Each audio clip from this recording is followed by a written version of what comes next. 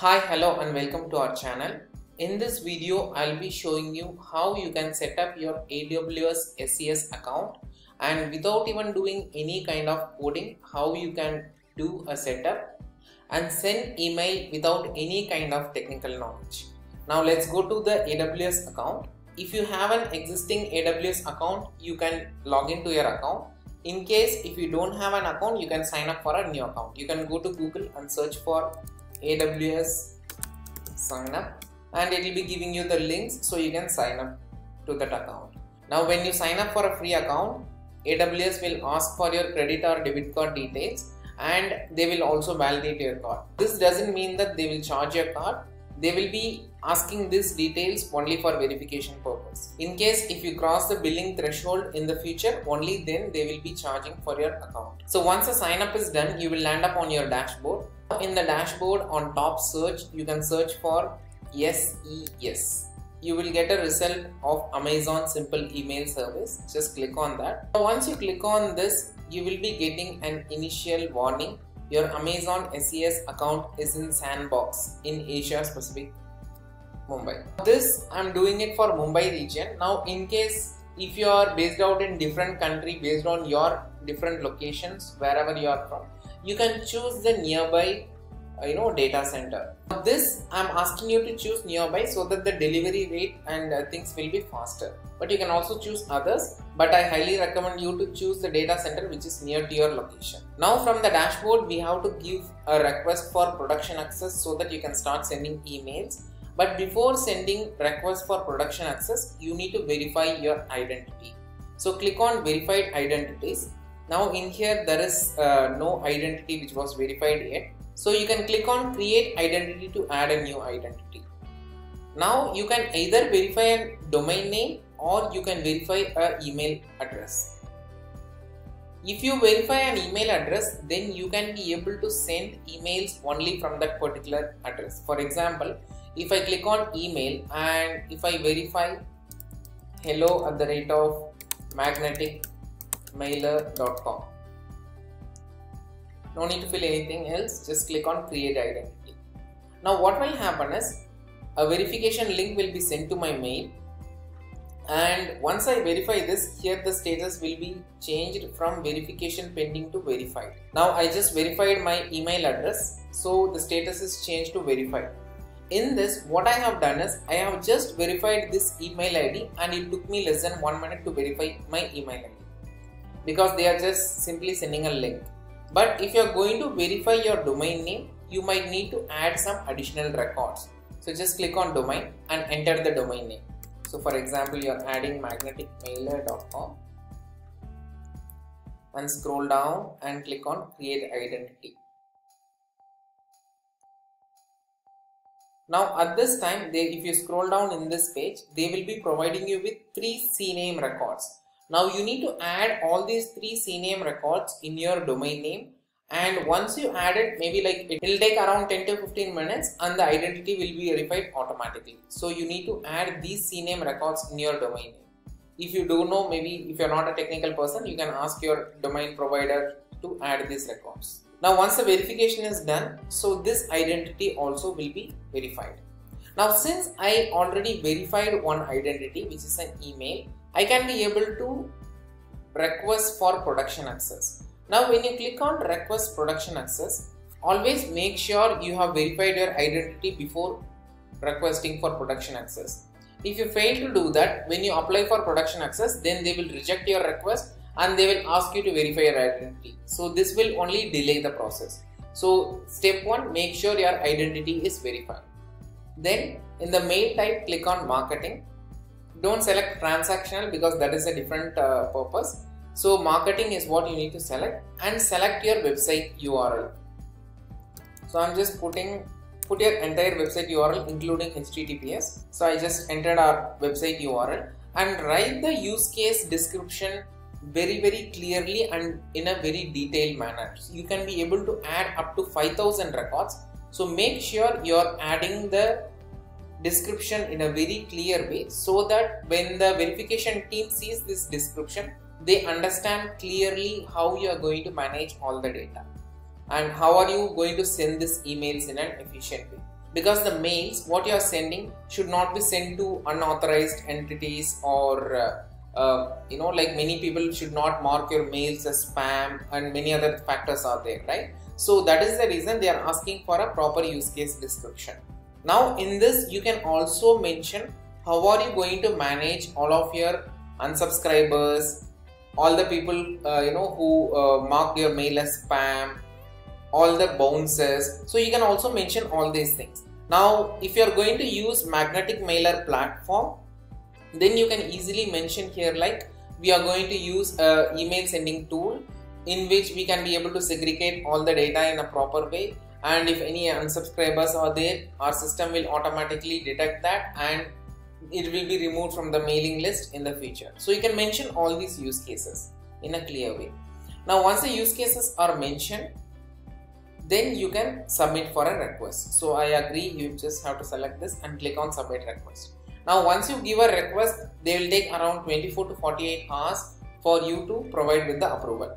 Now once it is verified once they are giving access then you can be able to send up to 50000 emails in a day now if you see here it is showing 199 cents is available for today right now this will become 50000 emails per day and I think your email sending speed also will be increased to 8 emails per second. You can also ask for more email sending limits in future if required. But for now this is enough. So for now what we have done is from your dashboard you have verified an identity either a domain name or email ID or you can verify both as well and then you went to the dashboard and clicked on request production access to ask for production access. Now we have to create an IAM user so that we can be able to configure this with the magnetic mailer panel. So search for IAM on top. So you will be getting the IAM which is the user access in AWS panel. So on the left hand side click on users and you can click on add user. Now this user you can be able to disable at any point in time. For example, tomorrow you are not continuing with magnetic mailer, you can simply deactivate this access and all the data related to this account will be suspended. So there is no need to worry about your data safety and security. So in the username I'm just putting magnetic mailer again as a reference and do not enable console access because this is a programmatic access is what we need. So just mention the name and click on next. Now you have to create a user group. So why we are creating user group is for the permissions. So in create policy just search for SES and give access to Amazon SES full access. Don't select anything just select this. So you can mention the group name as again magnetic mailer and click on create group. So now the group is created. You need to check this group and click on next. Scroll down, click on create user.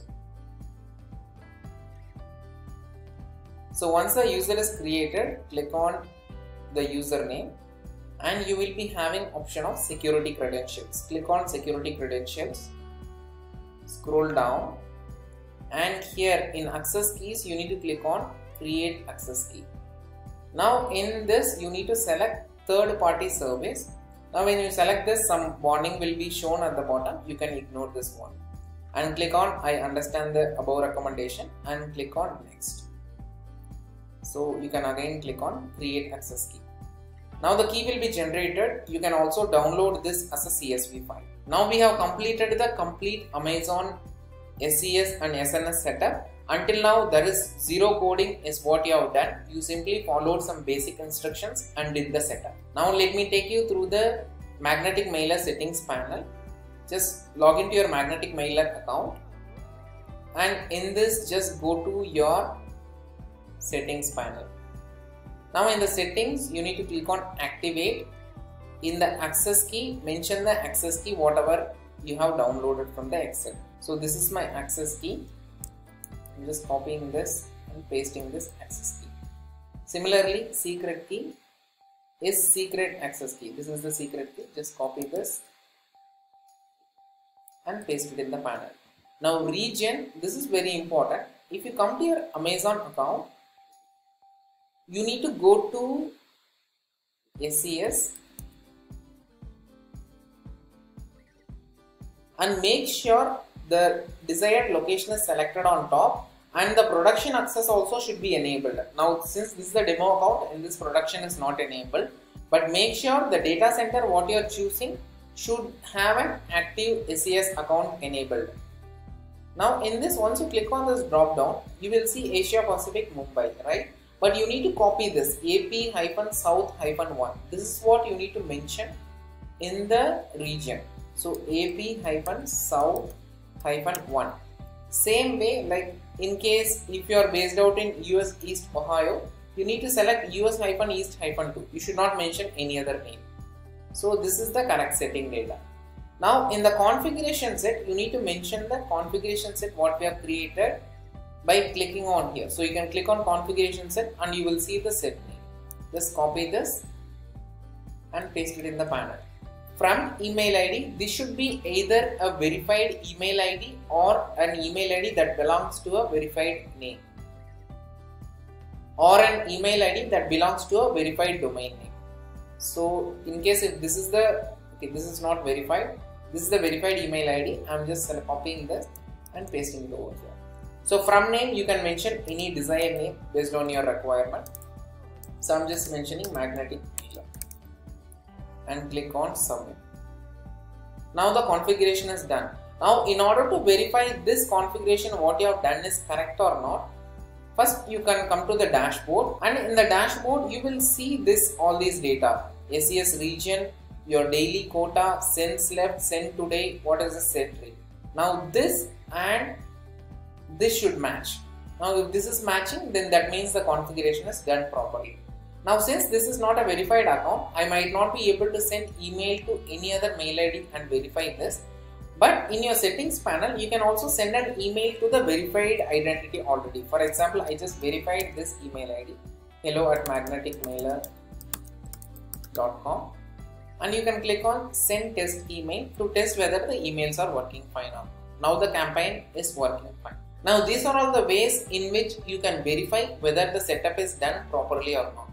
Now once this is done, that's it. The entire setup is done and we have done zero coding till now and your email is verified and you are sending email from magnetic mailer panel in a click. Now you can simply create campaigns from magnetic mailer panel and start sending as per your need. If you like this video, make sure to subscribe to our channel and follow our channel in the future for more updates regarding bulk emails and campaigns management. Thank you so much. I hope this video helps you in finding the best solution available in the market at a much affordable price. Thank you.